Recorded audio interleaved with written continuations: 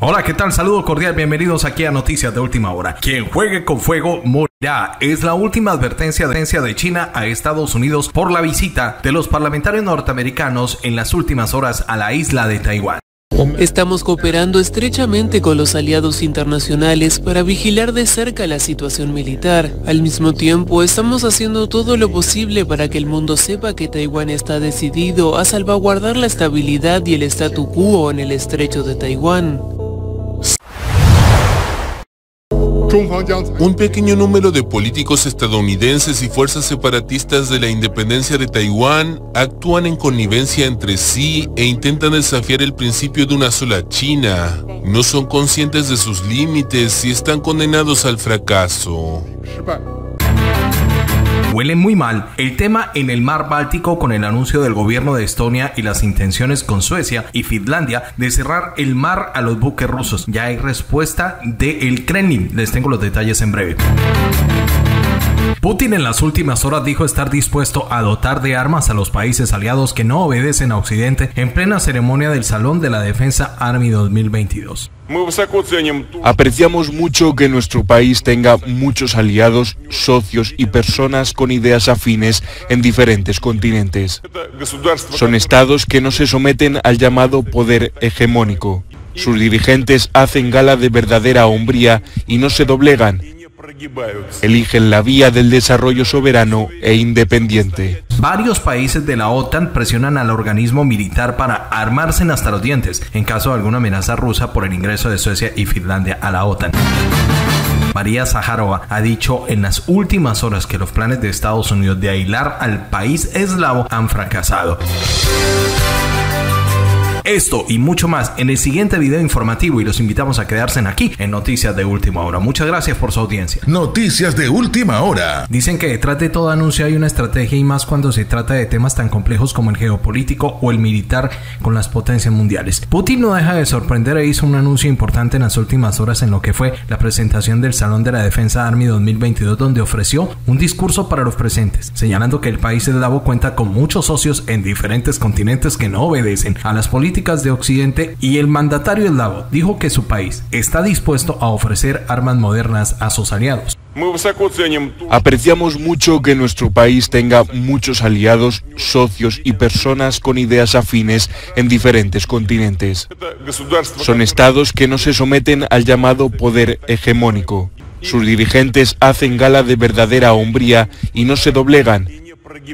Eligen la vía del desarrollo soberano e independiente. Asimismo, el mandatario ruso destacó que las armas de su país están en años y décadas por delante de sus análogas extranjeras, siendo superiores en características, tácticas y técnicas. Son apreciadas por profesionales militares de todo el mundo debido a su fiabilidad, calidad y lo que es más importante, su alta eficacia. Casi todas ellas han sido utilizadas en operaciones de combate reales más de una vez.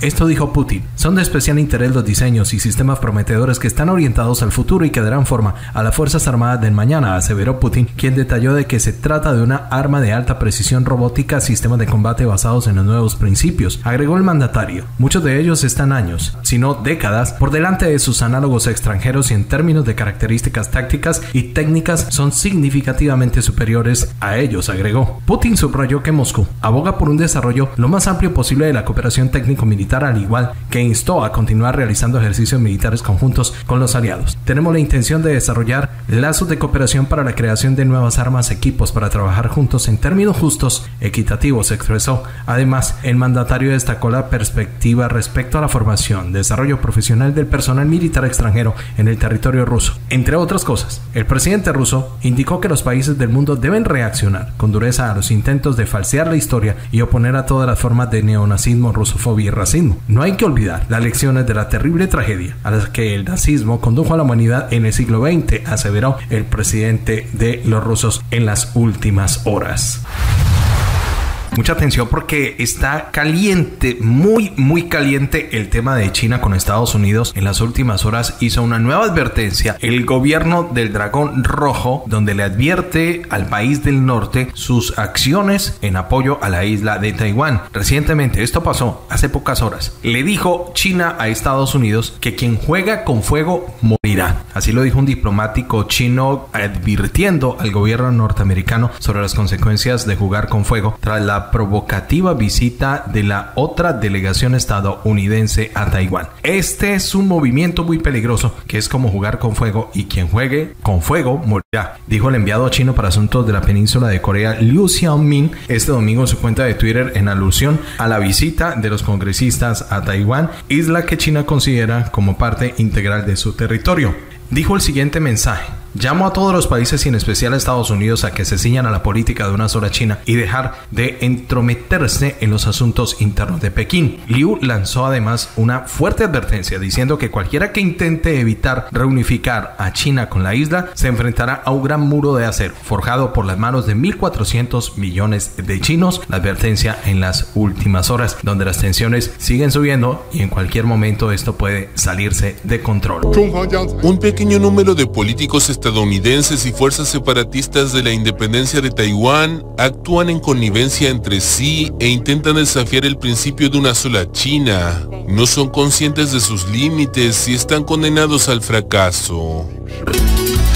Rusia en las últimas horas ha respondido a la intención de Estonia de querer cerrar el mar Báltico a los buques rusos cuando Suecia y Finlandia hayan ingresado como socios de la Organización Tratado Atlántico Norte y está queriendo que el mar Báltico sea un mar interno de la OTAN. Rusia por supuesto está a la espera muy rampante y sigiloso de los pasos que están dando y ha dado una respuesta que ya les voy a contar cuál es. Hay que decir o acotar en este video para ustedes amigos de Noticias de Última Hora que luego de que se consume el ingreso de estas dos naciones Suecia y Finlandia, a la OTAN, según este informe, integrarán las defensas antimisiles de Finlandia y del país de Estonia, país que permitiría, según el informe, cerrar el Golfo de Finlandia a los buques de guerra eslavos. Esto lo ha dicho recientemente el ministro de la Defensa de Estonia, Hanno Perburg, que ha enviado un mensaje desafiante a Rusia. El diplomático de Estonia dijo lo siguiente y cito las palabras. Será el mar interior de la OTAN cuando Finlandia y Suecia se hayan unido a ella y la situación cambiará en comparación con la actual, agregó. Pero la reacción por parte del gobierno ruso no se hizo esperar. La portavoz de la Cancillería rusa, María Zaharova, afirmó que la reacción de Moscú a este acontecimiento dependerá de la naturaleza y el alcance de las amenazas a la seguridad rusa que surjan en este sentido. Ojo a este dato que están entregando los medios eslavos sobre o en base a una reseña entregada por el diario norteamericano The Washington Post,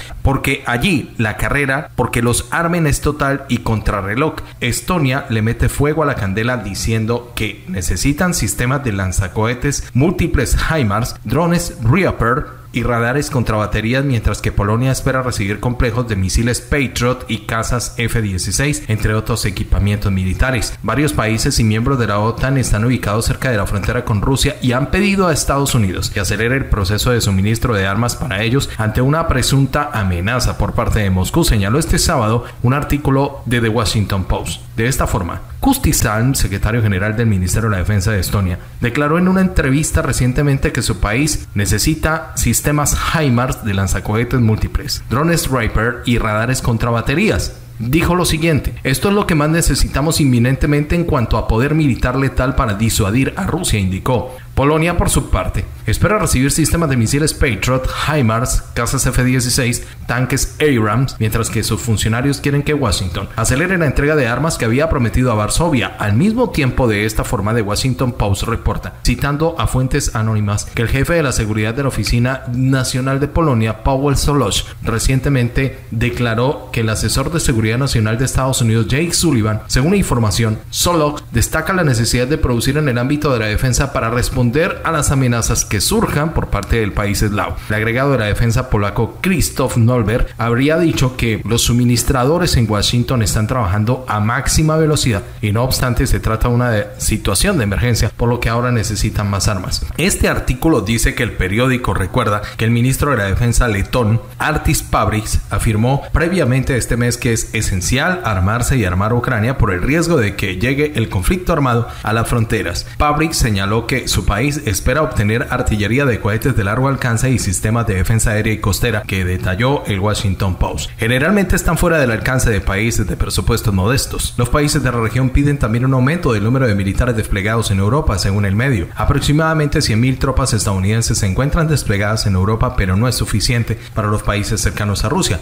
Y por eso es que están presionando a la OTAN ante una eventual amenaza en el flanco oriental, todo por la entrada de Suecia y Finlandia a la organización militar que lidera Stoltenberg. ¿Qué opinan ustedes? Me dejan su comentario en la cajita de respuestas.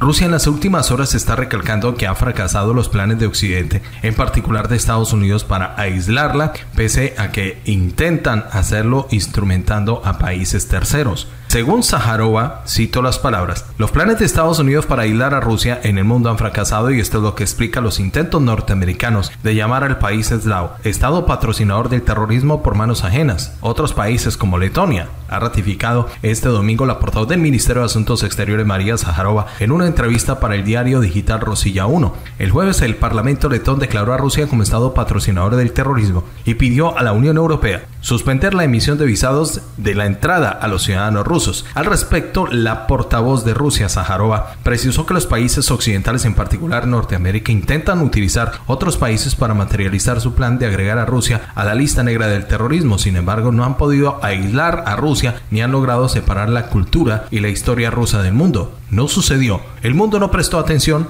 a todo lo que decía Washington. Ha sentenciado en las últimas horas María Zaharova.